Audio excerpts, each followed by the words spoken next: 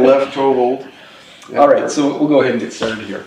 So hi, Dr. Nikita Vizniak with the amazing Dr. Lucas Macmillan. So today we have an athlete, uh, an elite level athlete who has done a recent inversion ankle sprain. It was quite a, quite a significant inversion sprain. What we were looking at is damage to the lateral side of the ankle, but it also included damage to the upper part of the uh, syndesmotic or high ankle as well.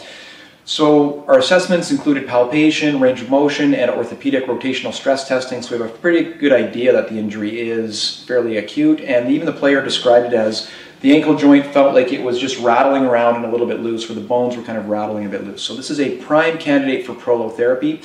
Of course, we're not just going to do prolo, we'll also have rehab exercises and things to follow up with, and detailed assessment biomechanically, making sure the joints move okay and the muscles are firing right. But we have to ensure that foundational movement is correct, and a big part of that is making sure there's stability with the ligaments, and that's where we pass it off to Dr. MacMillan. Absolutely. So we will be treating uh, three ligaments in this case. So there will be the anterior talofibular ligament, there will be the calcaneofibular ligament, and the anterior tibiofibular ligament. So let's begin. All right, so performing the second cleaning, we've already cleaned the areas once, but just to be extra safe with this patient, I would like to clean it twice. Okay, we're going to begin the injection procedure. So, step one, I do want to treat the anterior talofibular ligaments.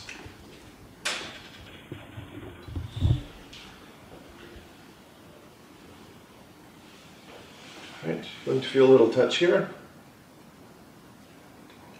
So I'm basically injecting 0.1 cc's every time I touch down. So the point here is I want to fenestrate, meaning I want to actually put some very small holes in the existing ligamentous structure, which is going to have two purposes. One, it's going to augment the already present inflammation to encourage healing.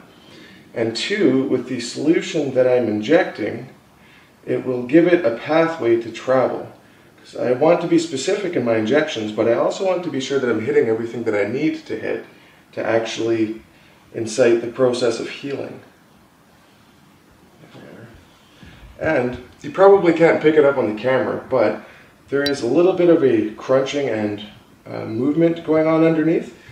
I can assess with the needle. The needle is more than just a tool to actually inject solution. It's actually a way to assess the tissues underneath. So it gives me an idea of what is damaged, how far the damage goes. And I'm basically going to use this needle to find the borders of what needs to be treated. I'm injecting a very small amount. I'm using just a small 30 gauge needle, basically as small as I can go and still getting the solution into place. Larger joints I'll use different sizes, but there we are. So, hit one side of the anterior talofib. On to the next side, so a little touch here.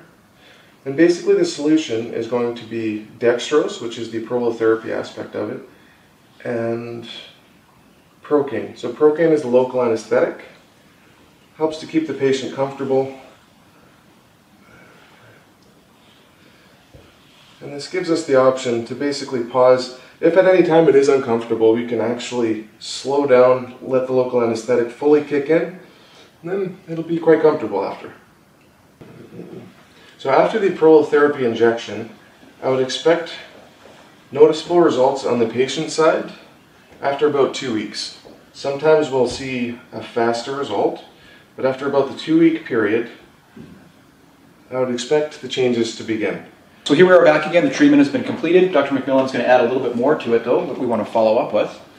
Absolutely. So, an important aspect of prolotherapy is the follow up. It's not just the simple injections and then, okay, we'll see you later. We actually have to have a conversation about what to expect, how long the treatment's going to last for, and what it's going to feel like from the patient perspective.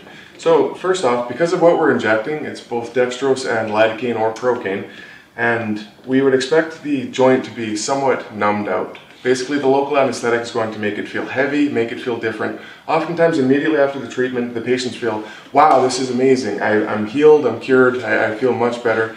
That's not really the case right off the bat. We're trying to incite a long-term healing process. And that's, and that's a really important point right there is how long does the healing process last for this? Uh, for this, up to six months. Some studies suggest that you'll continue to see a progressive increase in joint stability and ligament growth up to six months. And this is huge because a lot of people will feel they'll feel a functional recovery, but they don't have a full structural recovery yet, and they'll go and be too active or be doing too much activity, too much motion with it, and actually cause further injury and kind of take you back down the back down the pathway again, right? Exactly, yeah. If, if I'm going to have to retreat, I don't want it to be because the person basically was too aggressive with their ankle or with whatever ligaments were damaged.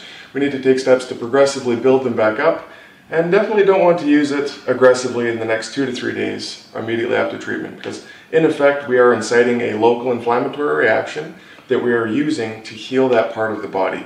Inflammation isn't always a bad thing, we need it to actually put these pieces back together. The point of prolotherapy is to induce a type of inflammation to lay down the collagen and original fibers that we would have found in the damaged ligaments. So we're trying to regrow and strengthen the original healthy tissue. Yeah. Excellent. And the only other thing we're going to add to it is that, of course, your basic rehab is also going to come into play with this. You want to make sure there's good muscle strength, proprioceptive firing patterns, good joint mobilizations are still occurring in the correct directions, and you do that in conjunction with your prolotherapy, even nutrition, botanicals, to make sure that you have optimal function when you're completed your treatment for the best recovery for the patient. Exactly. This is one piece of the puzzle that you can get amazing results with it if you pair it with the rest. The person has the adequate building blocks to actually put those structures back together you can see amazing outcomes. All right, cool. Thank you very much, Dr. MacMillan. Thank you. Okay.